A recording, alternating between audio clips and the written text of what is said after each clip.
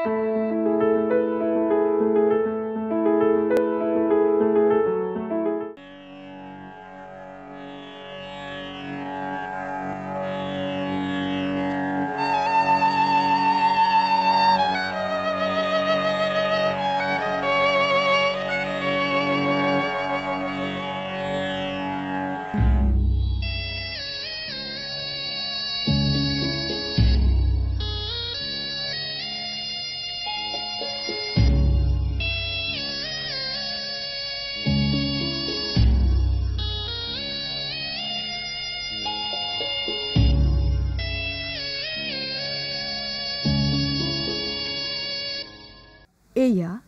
আকাশবাণী গুৱাহাটী।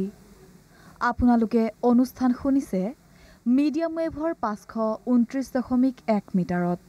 খন্তেক পাছতে দিল্লী কেন্দ্ৰৰ পৰা সম্প্ৰচাৰিত অসমীয়া বাতৰি শুনিবলৈ পাব।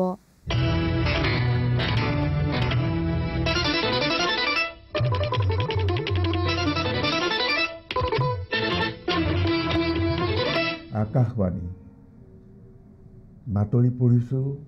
অমন বৰপূজাৰীয়ে এই বাতৰি আকাশবাণীৰ গুৱাহাটী কেন্দ্ৰইও ৰিলে কৰি শুনাইছে। এদিন ৰেডিঅ'ত ভাহি আহিছিল এই কণ্ঠ। এই কণ্ঠ আছিল অসমৰ ৰেডিঅ'ৰ শ্ৰোতাৰ বাবে বিশেষভাৱে পৰিচয় থকা এজন ব্যক্তি।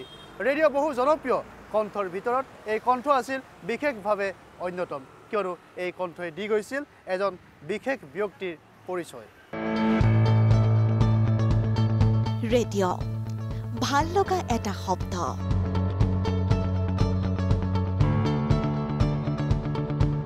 কত যে স্মৃতি জড়িত হৈ আছে ৰেডিঅ'ৰ সৈতে। পুৱাই টিউন কৰিলে ভাহি আহে সেই আৱহ সংগীত। কাকো কোনেও ক'ব নালাগে। আৰম্ভ হৈ গ'ল ৰেডিঅ'ৰ অনুষ্ঠান।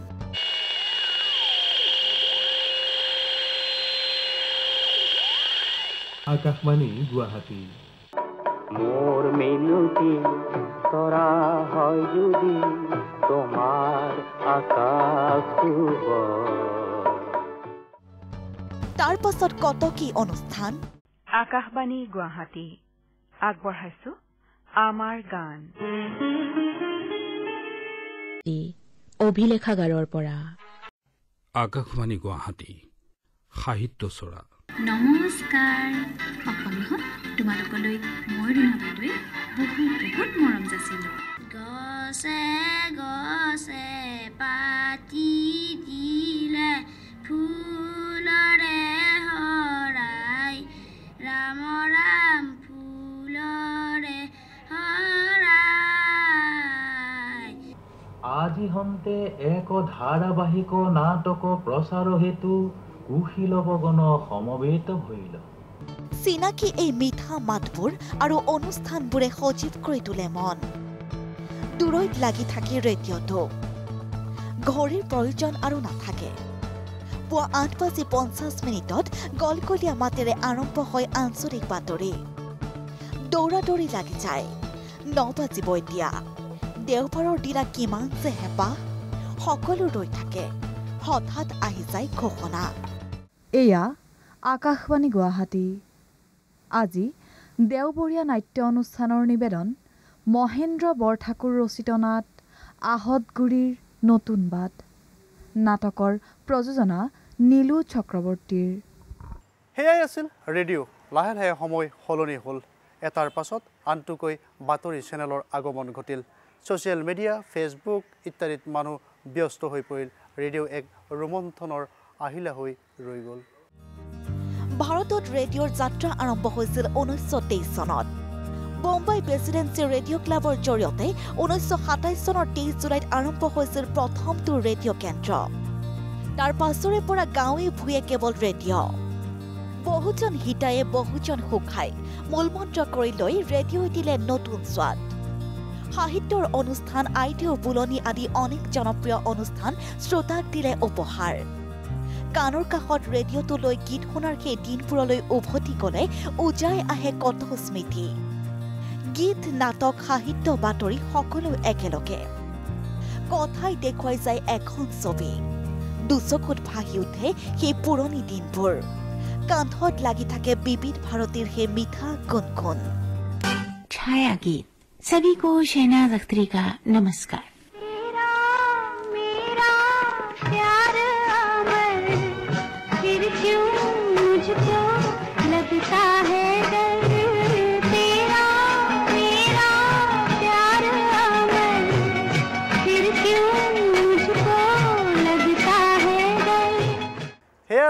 ঊনৈছশ চৌষষ্ঠি চনৰ কথা।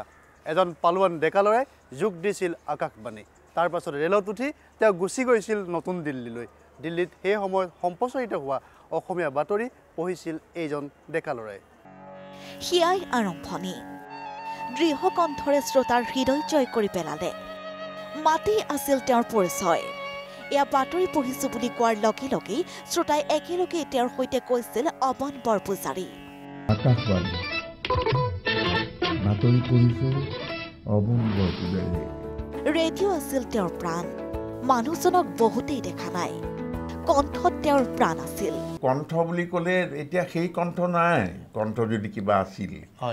এতিয়া বাৰ্ধক্য পালেহি। মৃত্যু অৱস্থা প্ৰাপ্ত হ'লোৱেই অলমষ্ট গতিকে এতিয়া সেই কণ্ঠ নাই।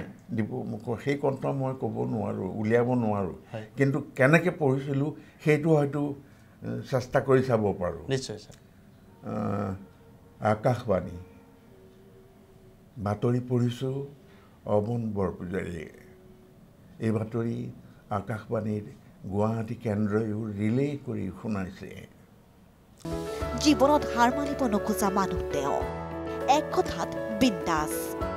দুহেজাৰ চনত তেখেতে অৱসৰ ল'লে তাৰ পাছত হেৰাই থাকিল তেওঁ।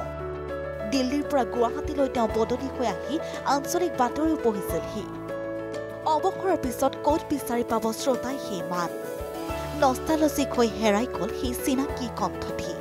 ব্যস্ত মানুহ ব্যস্ত জীৱন মহানগৰীত ব্যস্ততাৰ কাৰো আজৰি নাই। সত্তৰ দশকত আছিল এই মাত চিনাকি সকলোৰে বাবে ৰেডিঅ'ত ভাহি উঠিছিল তেখেতৰ কণ্ঠ। কিন্তু কেনে আছে অৱন বৰপূজাৰী? খবৰ ল'বলৈ আমি ওলাই গৈছিলোঁ পুৱাই। প্ৰথম দিনটোত আমি বহু বিচাৰিলো। অৱধ বৰপূজাৰীৰ সন্ধান দিব পৰা কোনো লোকৰ সৈতে যোগাযোগ নহল। পিছদিনা আমি এটা মোবাইল নম্বৰ সংগ্ৰহ কৰি যোগাযোগ কৰিলো। বেছি দূৰৈত তেখেত নাথাকে। ইমান কাষত থাকিও তেওঁৰ বহু আঁতৰত আছিল। পিছদিনা পুৱা দহ বজাত তেখেতৰ ঘৰ পোৱাকৈ ওলাই গলো। মহানগৰীৰ এই বিড়ম্বনাই আমাক ভালকৈয়ে জ্বলালে। চানমাৰীৰ পৰা শিলপুখুৰী পাওঁতে লাগিল এঘণ্টা। তাৰ পিছত শিলপুখুৰীৰ পৰা এটা উপপথেৰে আমি গান্ধী বস্তিৰ ফালে সোমাই গলো।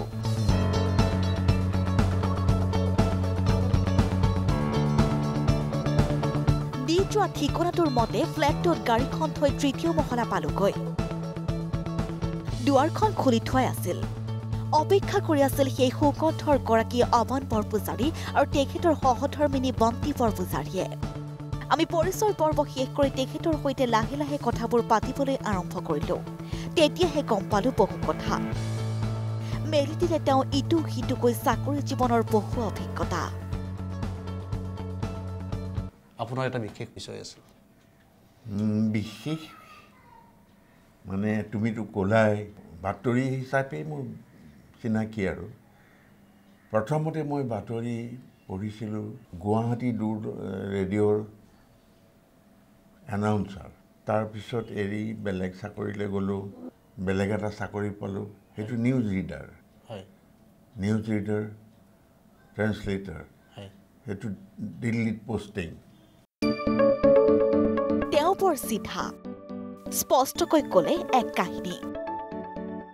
মোৰ ভতিজা কেইটামান আহ, আহিছিলে দুজনী ছোৱালী সৰু ছোৱালী যোৰহাটৰ পৰা আহিছিলে।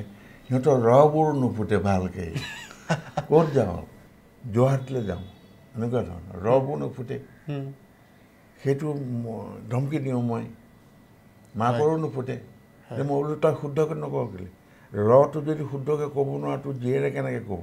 উচ্চাৰণ আৰু শব্দৰ প্ৰয়োগৰ ক্ষেত্ৰত তেখেত বৰ সচেতন।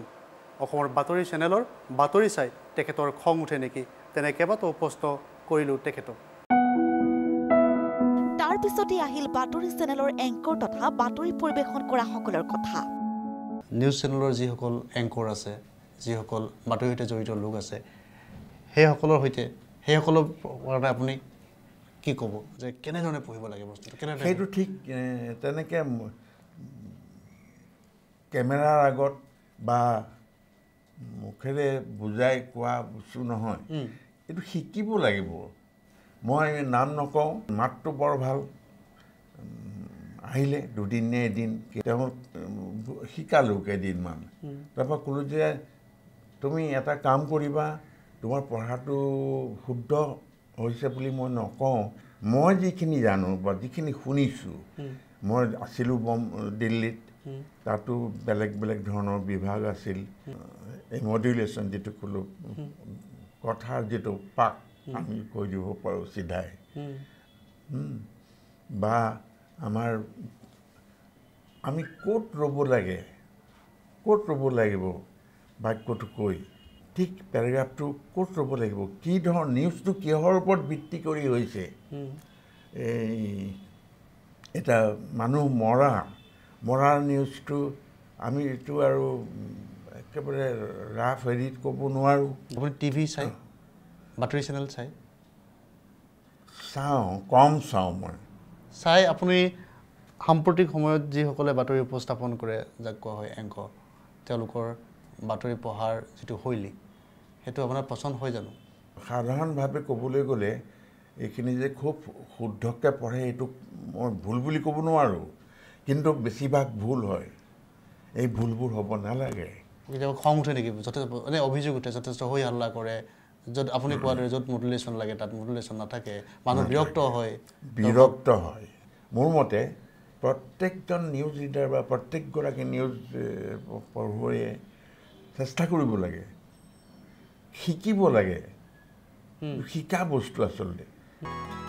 কথাবোৰ কৈ থাকোঁতে দিল্লীত বাতৰি পঢ়ি থাকোঁতে হঠাৎ এদিন কি হৈছিল তাকো কৈছিল।